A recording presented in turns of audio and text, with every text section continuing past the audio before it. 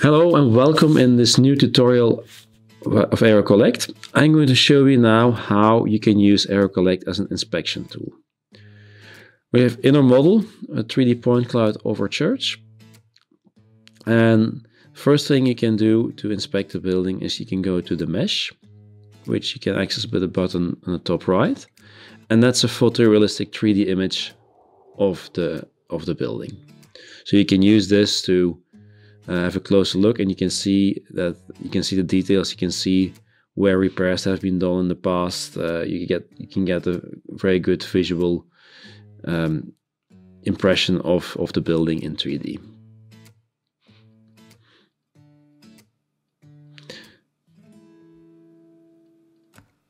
Now, that's the first way you can use uh, AiroCollect as, a, as an inspection tool. But what's also very interesting is you can add annotation and images. For example, if you took an image with your smartphone or you took a zoom image with the, with, uh, with the drone, for example, part of the gutter that's not right, and you want to remember that in three months, you can add that as an annotation to the model. You can to do that you go you go to the measurement tools. Okay, language is English. You can also add classifications to your annotations. Now we're going to keep it to none for the demo. And with this tool, you can add the annotations. You click on it, then you can add a title, let's say test, and a short description if you want. And then you can select any images that's coming, uh, an image that comes from your phone or from, from the drone. You can add that. So let's take this, this image and then you can add it to the model where you have seen or where the defect is, is, is, is seen. Let's put it there. And as you can see, the marker is fixed to the 3D model. And if you want to revisit it, you click the marker, you see the annotation, the image, and that's very useful. For example, if you want to remember in a few months after visiting a site where the details are that you need to take care of. Um, to do when going to do the repair. You can also use air, air, AiroCollect to measure. For example, to measure the a gutter that needs to be replaced. You can use a polyline measurement for that.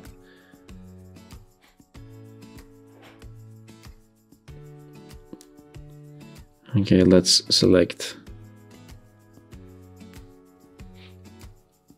yeah, the area here, and then we can zoom in to make sure the points are placed as accurately as possible. I'm gonna make the dots a bit thicker. And then we can you can make sure that you select the the right dot, the right point. There we go. And um, also on the other side,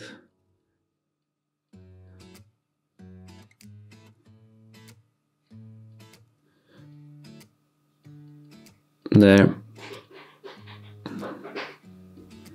And then you get a measurement 15, 15.32 meters. So that's a very easy way to measure gutters and ridges without having to climb on the roof. It's also possible to add uh, labels or change the name of this annotation so you can use it to instruct people what is where on the roof. For that, we're going to the annotation section. See our gutter is there. We can give it a name.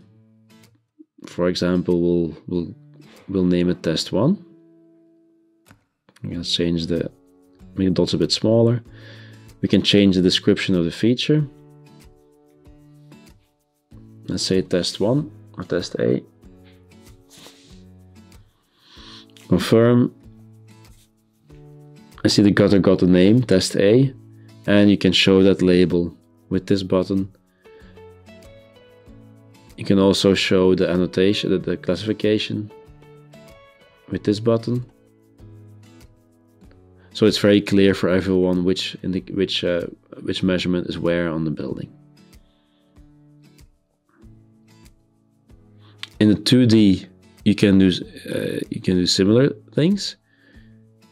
For example, if you want to add annotation, uh, a picture of a of a, of the, the designs drawings you have or some other information, you can add it as well. So you select annotation, give it the title,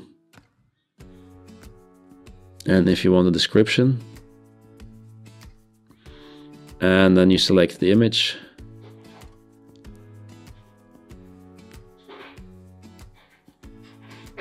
Okay, for example, a plan.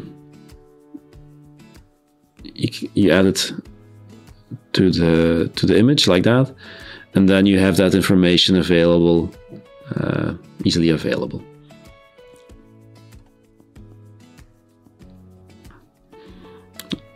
Right, the next thing I want to show you is how you can make a report. You can use the PDF exporter for that. Okay, let's delete what's in there. You take a snapshot. You'll take a snapshot of the within the orange dotted line. Take a snapshot. You can take multiple snapshots. You can do it in 2D, 3D. Uh, we're going to show it with one, and then you generate the PDF export. There, and you see that uh, you get an overview of all the images that you indicated, plus a summary uh, first in 3D of all the annotations you added, uh, the images uh, with the with the description and the title, and then the gutter, which has the which is a summary. If you have multiple gutters, it will add it. It will, it will make a summary, and um, also for the 2D here. So that's an almost complete inspection report that you can just generate from straight from the software. You also have all the raw images available, all the images that the drone took.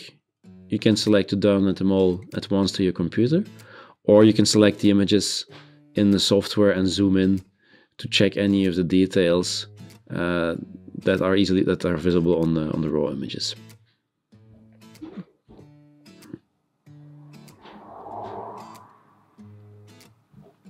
So this information you'll have always you always have available digitally. So thank you for watching this uh, tutorial. Uh, I invite you to also have a look at our other tutorials on our YouTube channel or on our website, uh, airocollect.com. If you have any questions, feel free to contact us and thank you for listening. Bye.